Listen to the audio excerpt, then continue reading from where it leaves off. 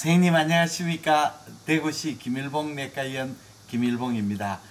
유튜브를 통해서 이 개원이 선생님 봉지기 선생님을 상대로 어, 초음파 영상 강좌를 시행하고 있습니다. 오늘은 가정의학과 선생님을 위한 초음파 강좌 210번째 시간이 되겠습니다. 35세 된 남자에서 이 소장 내강의 확장 S상 결장 시그모이드 콜론의 헛- 내강 허탈상을 보이는 급성장염 증례입니다. 환자는 내원 전날 가음을 해탁하고 내원일 오전부터 복통 설사를 수차례 있었다고 합니다. 내원 시에 제부 그 웅비리쿠스 주위에 경도에 압통이 있고 체온이 37.2도였습니다. 그러면 영상을 한번 보시겠습니다. 이 심와부 종단상이죠. abdomen aorta 이쪽이 아마 SMA 같습니다. 예, left liver 여기 splenic vein pancreas의 에, 예, body 같고 stomach의 에, 입니다. stomach의 wall이고 내강입니다. 예. 어, liver나 이제 abdomen aorta나 pancreas는 이상이 없는 것 같습니다. 그 다음에는 심와부 횡단상입니다. splenic vein이 보이고 이쪽이 pancreas입니다. pancreas body head가 되고 stomach이 보이고 있습니다. stomach의 anterior wall, posterior wall 이쪽이 pylorus였습니다. stomach의 wall도 정상이고 내강도 정상으로 보입니다. 그 다음에 subcostal 스캔에서 담낭을 관찰했습니다. 담낭의 fundus body죠. 여기 intrahepatic portal vein입니다.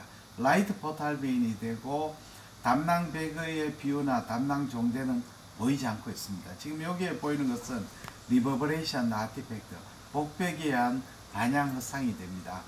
자, 이게 우하복부 횡단상입니다.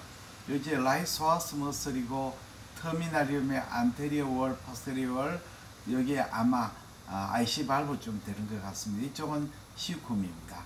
그래서 terminal ileum이 내강의 경도 확장상이 보이고 벽비후는 보이지 않는 것 같습니다. 내강의 이 그 액체라든지 내용물로 해서 약간 distension 된 느낌입니다.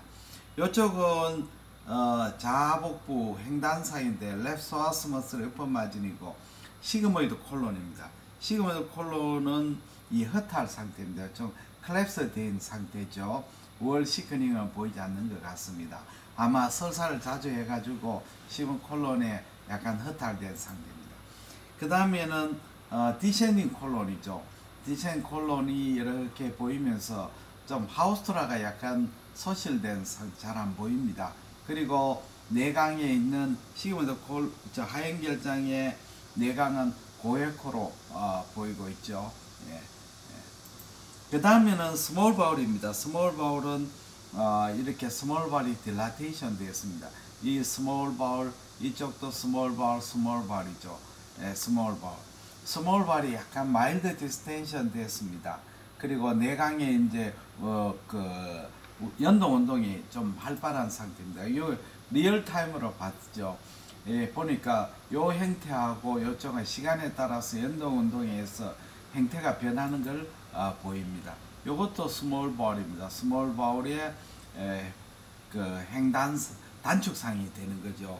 그래서 이 환자인 경우에는 small bowel하고 terminal ileum이 좀 dilatation 되었습니다. terminal ileum도 ileum의 말단이 있게 되어 있죠. 그래서 병변의 주 범위가 아마도 소- 소장으로 생각이 됩니다. 그러면 영상을 한번 다시 한번 summarize 하겠습니다. 예. 첫 번째 영상이죠. 여기 심와부 종단 스캔에서 어, liver하고 에, pancreas의 body하고 aorta의 SMA 다 정상의 소견입니다. 두 번째 두 번째 영상은 이제 심와부 횡단 스캔입니다. 횡단 스캔의 stomach, 그 다음에 체 pancreas 다 정상이고 splenic vein도 정상입니다. 그 다음에는 subcostal 스캔입니다. 담낭 부분 정상이죠. 예, liver도 정상입니다. 그 다음 네 번째 영상은 우하복부 횡단상입니다. 우하복부 횡단상의 말단 회장의 내강의 경도 확장상은 보이고 벽비후는 보이지 않습니다. 예, 요거는 다섯 번째 영상은 sigmoid colon이죠. 지금에도 colon에 약간 내강이 collapse돼 있고 어, 허탈 상태고 벽비후는 보이지 않는 상태입니다. 요거는 이제 descending colon이죠. descending colon에 보통 haustra가 잘 보이는데 요는 haustra가 잘 보이지 않습니다.